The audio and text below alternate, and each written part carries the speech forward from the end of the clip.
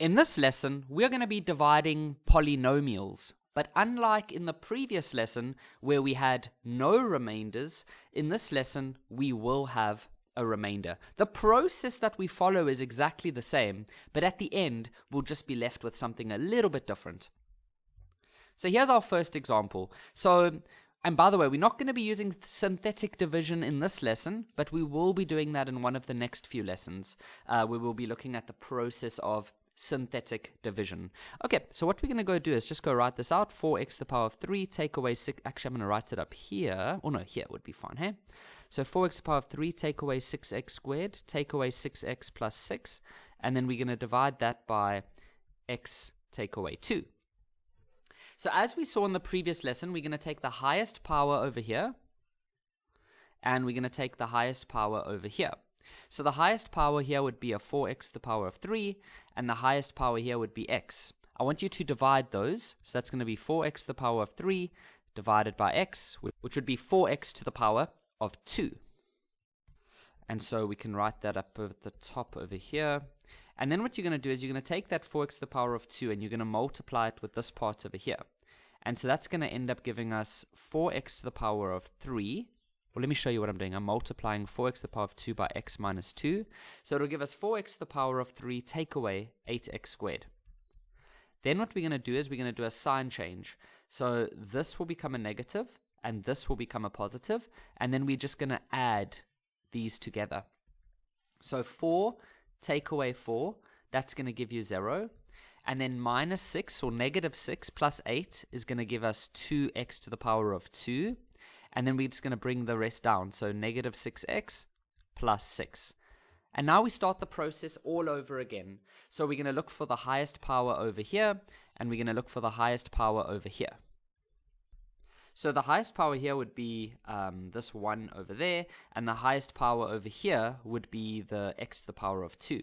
So you're going to divide those two things. So 2x to the power of 2 divided by x is going to give you 2x.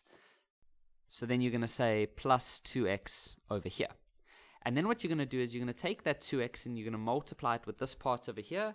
And so that's going to give us 2x to the power of 2 take away 4x.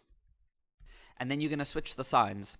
So this would become a negative, and then this would become a positive, and then you're just going to add everything together. So this part over here would cancel out, and then negative 6 plus 4 is negative 2 and then you just bring the positive 6 down.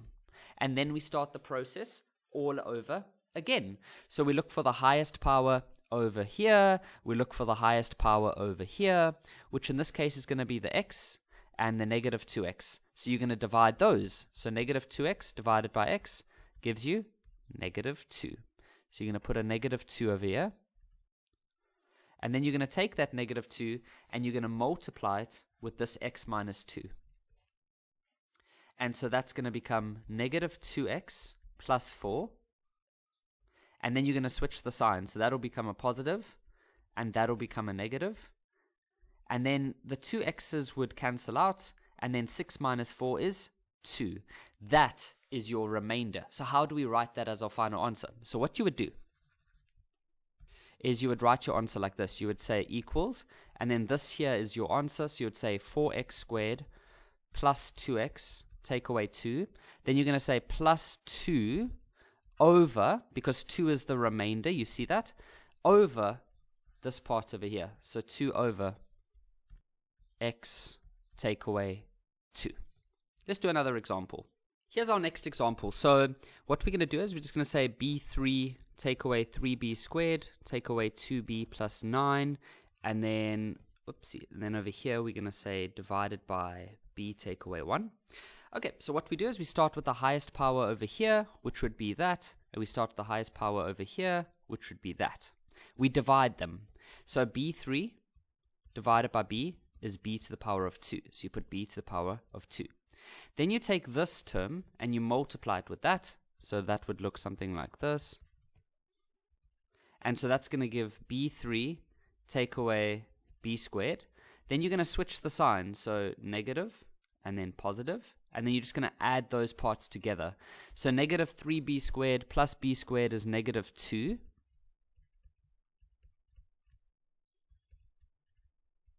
There we go. Now we just start the process all over again. So we look for the largest power here and the largest power over here, which in this case would be this one and this one. And so you're going to divide those. So negative 2b squared divided by b is going to be negative 2b. So you're going to say negative 2b over here. And then what you do is you're going to take that negative 2b and you're going to multiply it. So that's going to become negative 2b squared, positive 2b. And then you are going to switch the sign. So you're going to switch the sign of this one. So this will become a positive and this will become a negative. and then you just add all of that together.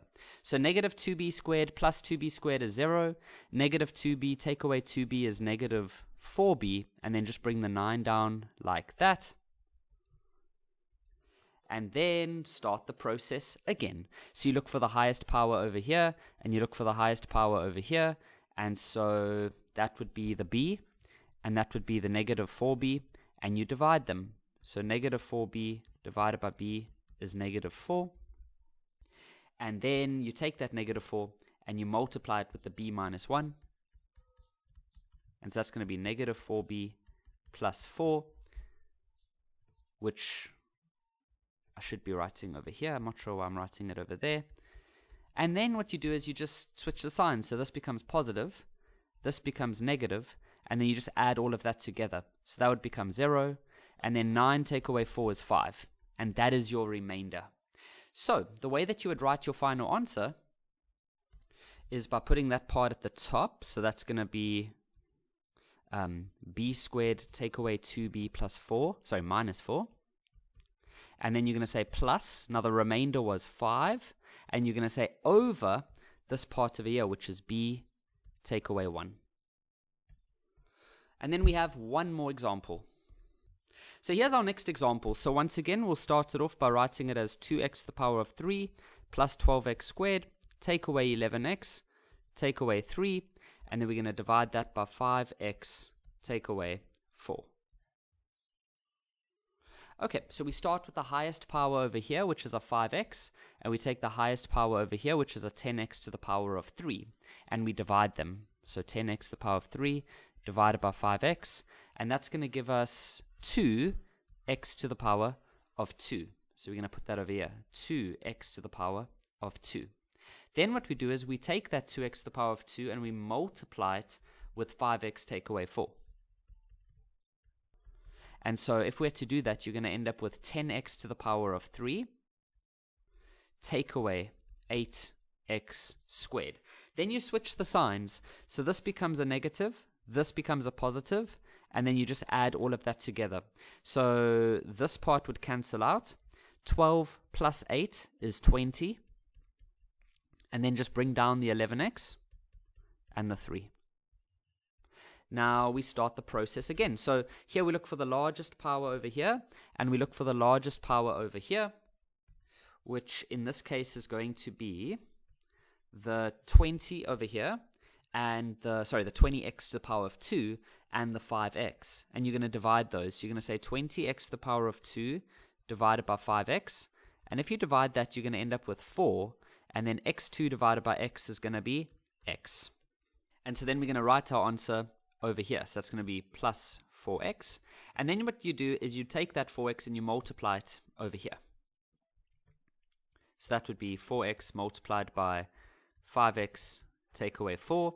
And so that's going to become 20 x to the power of 2, take away 16x.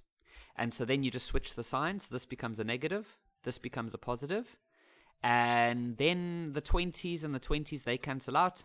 Negative 11, negative 11 plus 16 is 5. And then you just bring down the 3. There we go.